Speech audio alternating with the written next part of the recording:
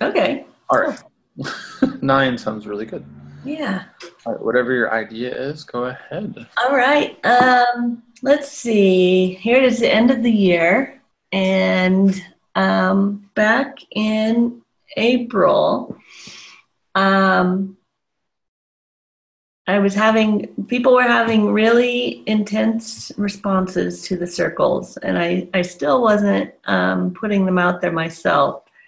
Um, just here and there, I would contact somebody, and some people would would um, respond, and others just totally didn't, and that was okay. So, so there was a little bit of um, adjusting to like the new way of being in business that total trust that that the actual creation has some responsibility in the world of of bringing people to it rather than feeling like it was all me and that that I should push it out there and that that whole old way of you know, all the messages messages that we get for marketing and every, everything else for um, bringing in money. And so there was this weird thing of okay, there are these circles and they're having emotional impact on people, and they're do they're doing a service, and I'm and that service is coming through me, and I want to be fed back from it. Um, I forgot where I was going with that. Oh, there was that weird that was that weird um, the uncomfortable bit of just really trusting that this whole thing would would make itself happen and that it and that actually if i get in the middle of it, it would create sort of a block. Um, and so there was all there was a lull for a little bit, almost to make sure that that trust was going to be I was going to be sincere about that trust. And um, so I got really clear about um, what that what that trust meant and once that was really solid in me and and i had a, a good way of speaking about the um, like a real sincere and authentic way of speaking about the circles where i wasn't like searching for words and kind of wondering is is this person gonna just think i'm totally nuts or anything like that. Then it didn't matter if i was talking about the circle or posting about it or if someone else was posting about it, it all just became natural. So, um,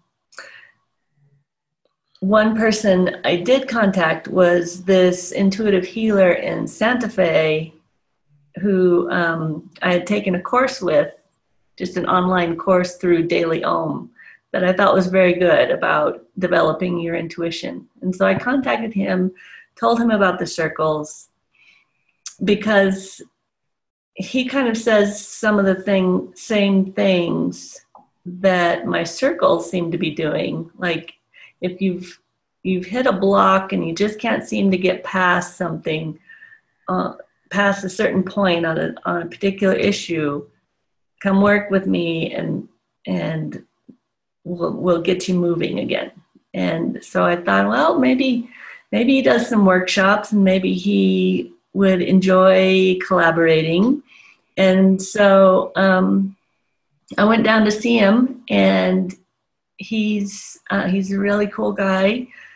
Uh, Max Heistein is his name, and um, very open, not at all threatened by someone encroaching on his intuition business or anything like that. And um, then when you were traveling, you came with me and we both went down to see him. And there was a retreat that he, or a workshop that he put on in um, June that I went down and did some circle demonstrations for for his people. And that was really cool. So this is this has become a thing over the course of this year that i actually make appearances and people rather than me explaining the circle as i'm making it like i would a normal um, um, art demo I just, everybody goes into a meditation while I'm making it.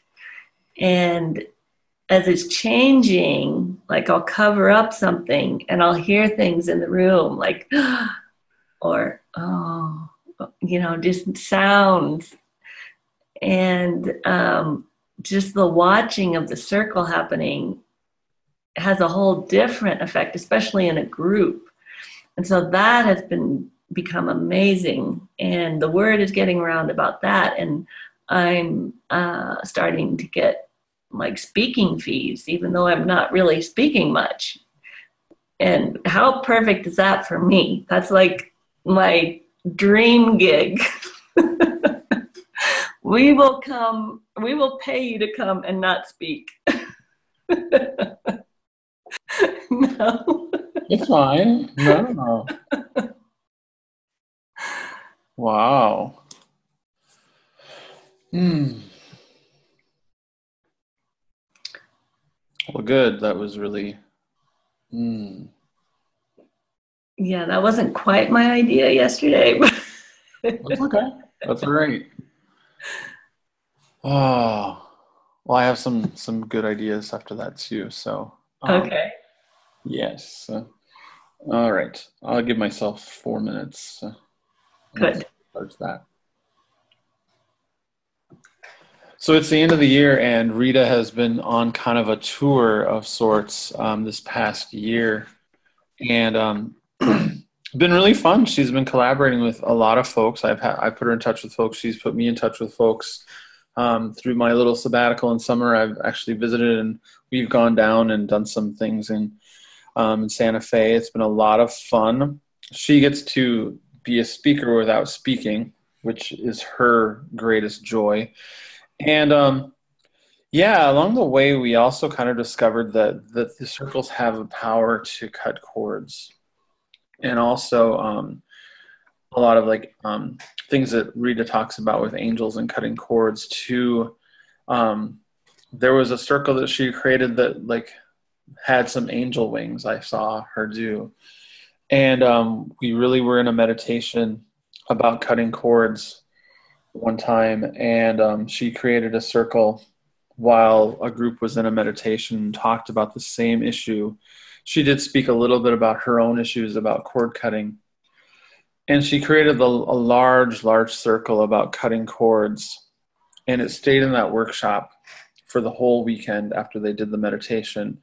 And all throughout the, that workshop, people kept feeling this support from this larger circle that Rita had created about cord cutting and about love and about um, angelic intervention. And so now everyone wants a print of that circle to take with them. And they're going to get a print of the circle eventually because everyone wanted to buy one. And um, it's become kind of this theme of whatever the theme of a workshop is it's like there's this overarching circle that happens. Not only this physical circle of people but this embodiment of the circle of people comes through her meditation circles that she creates in the workshop. And people share their stories. And it's just a natural sharing of stories. It's a natural meditative time where it's not really even guided too much. You know, there's a meditation that may be guided, but then people just sort of claim their stories and and this circle kind of speaks to them to give them permission to to speak about their story and um, take in whatever healing they need to do and cord cutting and um, it's really helped Rita. It's really helped other folks and um, helped move their relationships, move Rita's relationships.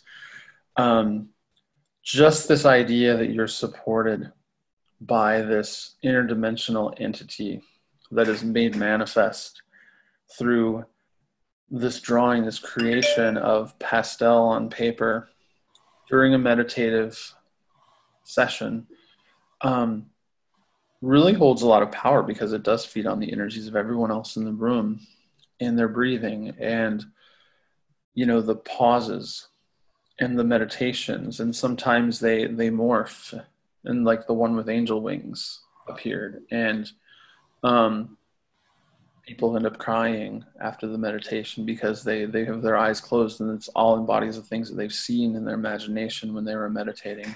And so um, there have been some really times where it's like almost hit very spot on with some some of the folks in the meditation group that this was what they saw and that rita was picking this up and um, this is what came through um, as this was happening so um, it's been a great tool and a great way to just introduce a group um, circle to people, not only a physical circle of people, but this manifestation of uh, their interdimensional circle that's created when they come together. And people always want prints. It's wonderful. Yeah, I like that. So it's the end of 2018 and I feel like this has been a really fun and enjoyable year. Lots of changes, lots of shifting, lots of things that happened throughout. I remember at the start of the spring, I took a sabbatical from work, and I also did like a temporary gig um, with old coworkers. It was good to reunite with some other folks too for a little while, getting at some extra money. Um, but I was able to just leave it where it was when it was finished, and um, it was really nice just to be able to do that and to feel like it was like one last kind of I don't know a good shift of of um, giving me some other income plus giving me a break plus giving me an opportunity to help um, a place that I really liked before and you know throughout this whole time like may june july i mean of course i did the tennis tournament in mankato i actually visited mankato a few more times and i was almost very um, very enamored, and I have a feeling that um, even though I'm in Iowa right now, that Mankato, Minnesota is going to be kind of a stopping point more often because I really enjoy being there. And um, but yeah, it's been such a great year of change and uprootedness, and I feel kind of emptied in some ways, which is really great. I've always wanted to kind of feel that sense of what's next, and I have no idea and I've really stepped into that, which is great. And Rita and I have been doing some work. I've been traveling a lot. It's really crazy how much travel I've been doing, and it's nice and it's wonderful. I'm a little tired sometimes from traveling, but it's great to be in Iowa. I can kind of branch out um, everywhere. You know, if I want to go south, I can go south. If I want to go east or west, it's um, it's very central, so it kind of lends itself to travel. And um, so I feel like it's kind of just a natural spot. Um, so I haven't really dug too much into the local community. I've seen a few friends and done some few things, but but traveling seems to be kind of a natural thing that's coming about. And um, when I get a chance, I can go away on the weekend and I do it. And um, yeah, so business is going well. I'm transitioning into coaching a lot more, and I'm in negotiations to sell the business like I wanted to. It's almost finished, and um, that'll be really nice. And then I have no idea what's next. I'm here in Cedar Rapids. My lease is short term, six months, and then I'll I have no idea right then. So um, I'm happy about that. So um, some people think it's a little unnerving. Sometimes I feel a little unnerved, but that's okay. And um, so I just I think that I'm in the right spot when I have a feeling I don't know what's going to happen next and I really enjoy that. And so I'm trying to ride that out as long as I can and to be open to the things that happen. Um, Rita Circle had been really helping me in my new home um, with the dog and with me. And um, actually, when the dog is not here, I, I, feel the presence because the circle is there by her food dish and by where she usually is. So it has been really nice and a nice reminder of Junebug, um, you know, when she's not here. And it's it's been really fun. I feel like I live in this nebulous space, which is really a little secretive to most. but very special to me. And I kind of keep it a little secretive with with with that because I know that I'm I don't want other people's input because um, it's all about my discovery and I share what I want to share. Rita and I keep kind going, but it's just these magical things that come about, and I really, really like it. Um, and when I'm writing to my inner wise self, or my inner wise elf writes back to me, he tells me that I'm just exactly where I need to be creatively, spiritually, not like living this non attachment, but opening up to just whatever it is. And, um, but yeah, it's, it's also like coming near Christmas time and we're finishing that out. And, um, the solstice has been great. solstice is always like it's like the anniversary of when Rita and I started doing this work. So um, you know, we did a a whole solstice um, three hours of Kylego, and it was so great. And um, just Kylegoing about the solstice, about the wheel of the year coming up. So we kind of traded turns when it turned into a three hour Kylego, and I loved it.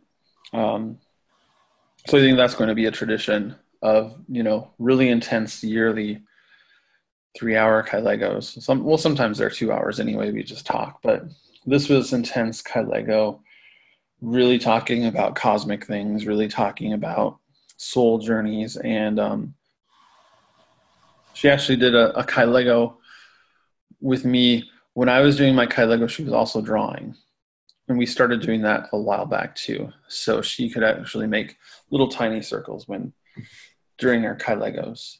And um, I'm still trying to like do things like that, but I don't necessarily draw as well. And but I have magic markers. So, um, but also we got good at really zeroing in on our feelings that way during the other person's Kylego, and it made a difference in supercharging. And so, not only that, we've actually like shown this process to other people about Kylego and art and creation. And um, it's been so much fun. The three hour Kylego was intense at the end of the year. And so people are starting to see these differences. Our cosmic landing community is is taking off and it's really wonderful. They people see these things happening and we intentionally keep it in small groups and do workshops and do other things. And goes and travels, and then we do some online groups. And we keep it intimate. We keep it smaller, although it's growing, just because it makes it so much more um, personal for people. And, you know, Rita's getting, you know, circle business. I am getting coaching business too. And so we can keep oftentimes we just do these free and then everybody just sort of clamors to us because both of us are busy and so it's um you know and, and we're still trying to set you know our price points just what what intuitively comes up it's always floating it's always great and people know that so it's but yeah I, i'm wondering where i'm going to land still and i love that and i never knew that being so uncertain would give me such clarity over the long period of time, over a long period of my life. And so um, that RV is coming closer. I can sense that. I have, I'm, I'm saving for it and it's coming closer. And um, when that happens, that's all bets are off. So I may be at my folks, I may be in Mankato, I may be points between, I may be in Cedar Rapids. That's what I'm telling folks, and I'll, I'll have a regular address for people to do, probably somewhere in Iowa. I'll have an address or maybe South Dakota where there's no taxes for business or property.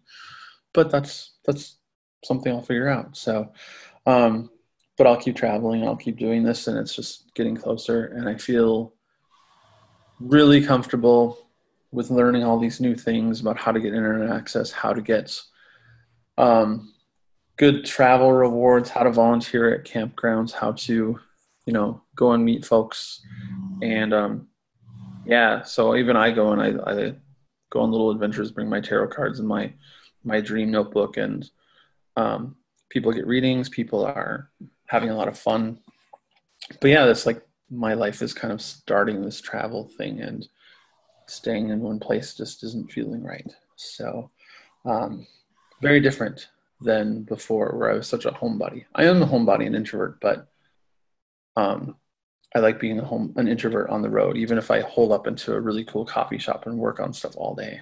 So, um, and just be a little casual observer of life or a writer or something like that. So, Ooh. good. Yeah. Fun. Okay, I have a few things. All right, let me know when you're ready. Okay, yep, I'm ready. Good. So, um, Scott did his um, uh, his temp job, and what do you know? It was a win-win-win, and he kept recognizing those scenarios coming up very easily. Like you, you started to um, just feel immediately if some if a decision was going to lead to a triple win, and if not, nope, no thanks. And so opportunities just kept coming coming forward, and some of them seemed sort of counterintuitive that you know, the average person would advise you against it, but you could feel it was win-win-win. So you went ahead, and um, this feeling of being now at the end of the year being emptied, and that that actually feels good. Whereas a lot of people would feel like that was a a bad thing to be emptied but you feel it as a, a freedom and um, space and space in here. Um, and this not knowing where you're going next just speaks, it just shouts freedom. And we, we realize that people cling to that. I have to know what happens next. And what a cage that is. Is we're just totally into and, and loving not knowing what happens next. And um, it got really solid and clear, or ephemeral and clear, when we did the um, three hour solstice Kylego. That just, that was just a major shift. I mean, it's almost like you want to spend your life Kylegoing after you do something like that. And just you know we're advised not to live in the future but there's something so powerful about ignoring what day it is. And living in that. Um, and and we've been showing people rather than marketing we're, we're just showing people how how it works. Because it is hard to it's like we we've had to we would have to invent a whole new language to speak to people who are not in this place. And so showing them is really the only way to do it.